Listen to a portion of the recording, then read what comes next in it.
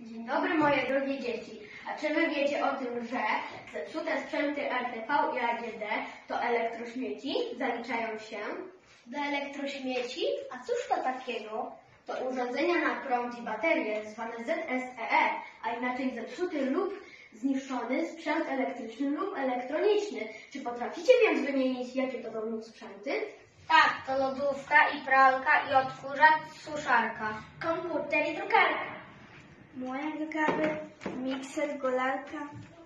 Żelazko, telefony, smartfony, wiertarka. Oczywiście, drogie dzieci. A teraz powiedzcie, na czym polega recykling tych elektrośmieci?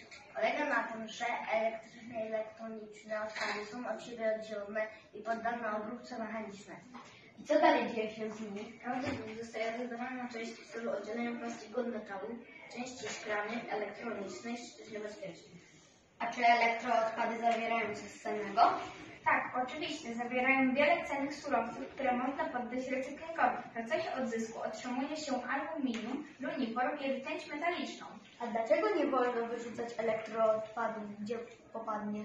Nie wolno, gdyż zawierają szkodliwe substancje takie jak rtęć, freon, azbest, kadm czy związki bromu, które po wydostaniu się z zepsutego sprzętu mogą przeniknąć do gleby, wód gruntowych i powietrza i można w ten sposób zanieczyścić środowisko. Tak, pamiętajcie więc, kochani, że o środowisko dbamy, a zużyte sprzęty elektryczne i elektroniczne do punktu zbiórki oddamy.